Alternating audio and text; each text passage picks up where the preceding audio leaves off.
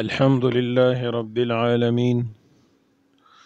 والصلاة والسلام على سيد الرسل وخاتم الأنبياء والمرسلين وعلى آله الطيبين وعلى أصحابه أجمعين وعلى كل من تبعهم بإحسان إلى يوم الدين أما بعد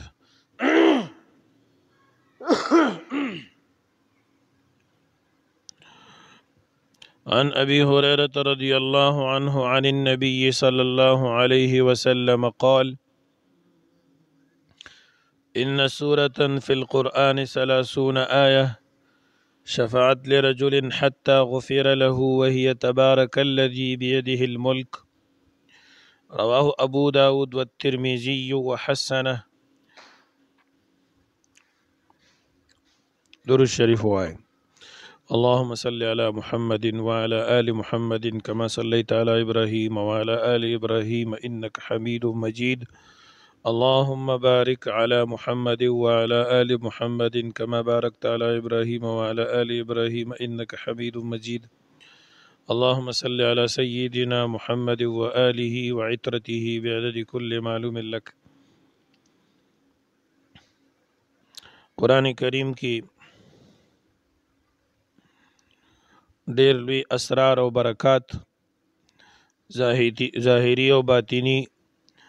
دنیوي او اخروی خیر الله رب العالمین جمع کړی دی او د قران کریم بعضی سورتونه داسې دي چې په صحیح احادیثو کې دا غي د ویلو په یو خاص وخت کې ذکر راغلی دی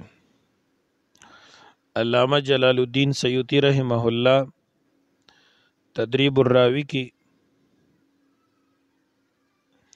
د اغه صورتونو ذکر کړي دي د کومو فضائل باندې چې صحاح او صحیح روایت راغلی دي دغه شانتي په دې کې خاص خبره بل ادا ده چې د بعضی صورتونو د پاره په صحیح حدیث کې وختونه مراغلي دي او ځینې عام روایتو کې حسن روایاتو کی ضعیف روایاتو کی چی فضائلو کی چلیږي دا قصه قسمه روایاتو کی ځینې نور صورتونه هم داسې شته دی چې موقت مخصوص وخت کې د هغې د وینا تذکره مبارک احادیثو کې کړې ده من جمله د اغي احادیثنا چې د سوراتونو په فضایلو کې راغلي دي یو هغه احادیث مبارکه هم دي چې د تبارک الذی یعنی د سوره ملک په فضیلت کې د ماسوتن په ویلو کې او د ماسخوتن په وخت کې د ورد ساتلو باره کې راغلي دي امام ابو داود امام ترمذی امام ابو عبد الله الحاکم امام عبد العظیم منذری امام عبدالرحمن نسائی امام ابن ماجه قزوینی رحمهم الله الجميع د احادیث ائمه دي دوی په خپل کتابونو کې د تبارک الذی د ویلو چې هر شپه د دې ویل سنت دي د دې تذکرہ کړی ده سیدنا ابو هريره رضی الله عنه نه روایت ته چې رسول الله صلی الله علیه وسلم فرمای ان سوره فی القرآن 30 آیه بشک په قران کریم کې یو سورت ته دیرش آیتونه شفاعت لرجل حتا غفر له چې شفاعت بکې د یو سړي د پاره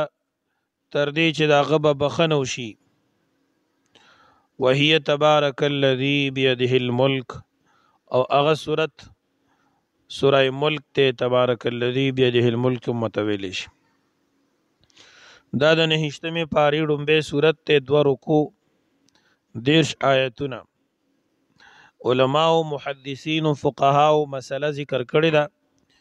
چې افضل دا ده چې هر ماسخوتن دا ویلې شي او د دې د ویلو ډیر فضائل راغلي دي سیدنا عبد الله بن مسعود رضی الله عنه فرمای کم سړی چې ارش په سورته ملک لولي دا بنده به الله د عذاب قبر نه محفوظ ساتي او حضرت عبد الله ابن مسعود رضی الله عنه فرمای چې د صحابه کرامو په دور کې به مونږ دې صورت ته مانع ویلا یعنی دا منع کون کی د عذاب قبر لرا او دا د الله په کتاب کې د حضرت ابن مسعود رضی الله عنه فرمای من قرأ بها فی لیلة فقد اکثر و اطاب چا چې دا اولست په شپه کې نو ډیر غټ کار یو کو ډیر بهتر کار یو کو او روایتو کې راغلی دي حضرت ابن مسعود رضی الله تعالی عنہ فرمای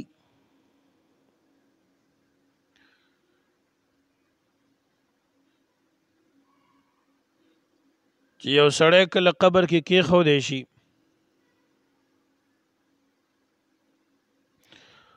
او دی بنده ته په قبر کې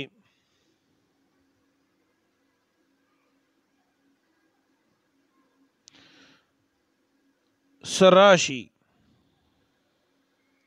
عذاب وغیرہ راشي یا د عذاب فرشتي راشي ځینې محدثین وایي د دینه مراد د حساب کتاب اغستو والا فرشتي دي او ځینې عالمان فرمایي چې دینه مراد د قبر سخته ده بهرحال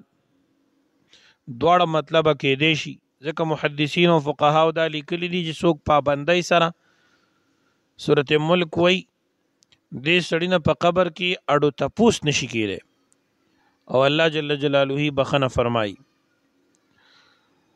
نو کله چې دته په قبر کې فرشتي راشي د خپو د طرفه نو دا صورت را وړاندې شي او اغه ته اووي ليس لكم علامه قبلي سبيل كان يقرأ في سورة الملك تاسو د دس نشي کوله دی سړی په ژوند کې سورت ملک ویلي تبارک الذی ویلا بیا د سینې د طرف نراشي یا د ګیډې د طرف نه وفرمایل شک ته دراوینه نو دی وته وای تاسو د دې بنده سره نشي کولای د انسان به ارش په صورت ملک وي بیا د سر د طرف نه عذاب راشي یا فرشتي راشي نو دی وته فرمای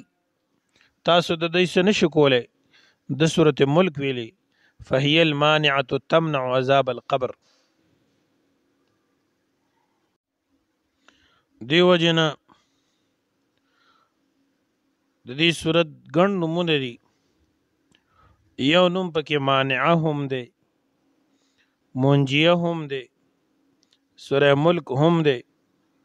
او تبارک الذی بیده الملک وته هم وی مانعه و تزکه فرمای دانو می په حدیث کې راغلی دی منع کون کې د عذاب قبر لره د قبر سختي د قبر تکالیف دا د انسان نه منع کوي بندي یې او ځینې علما کرام خدا هم فرمایي چې پابندۍ سره سوق تبارک الذی عرش پوي